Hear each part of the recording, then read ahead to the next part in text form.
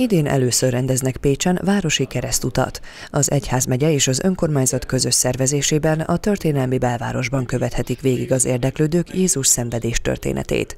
A 14 állomásos út az a körülbelül másfél kilométeres táv, amit Krisztus is megtett Jeruzsálemben a keresztet hordozva.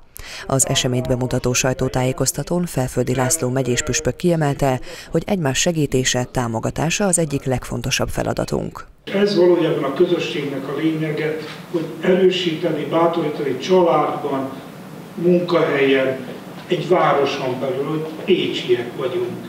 És ezért a városért együtt vagyunk felelősek, hogy értékesebb, gazdagabb legyen, és azt gondolom, hogy nem egy vonulás lesz ez, hanem valahol ennek a belső üzenete, hogy több emberként, jobb emberként a magam világában, a magam élet meggyőződésében élhessem tovább az életemet. Az útvonal egyébként a Kossuth tértől a Dóm térig tart. Ezen a szakaszon jelöltek ki 14 állomást, ahol a Pécsi Nemzeti Színház művészei adnak elő versrészleteket és biblikus idézeteket. Mint azt Felföldi László stábunknak elmondta, a húsvétra készülődés jegyében megrendezendő esemény egyik szintén fontos célja, hogy az egyház meg tudja mutatni valódi küldetését, hogy Isten az ember mellé áll. A keresztút Jézus keresztútja ebben tanít, ebben erősít, és mai nap is ugyanúgy mellénk áll az Isten, és segít nekünk ezen a keresztúton végigjárni.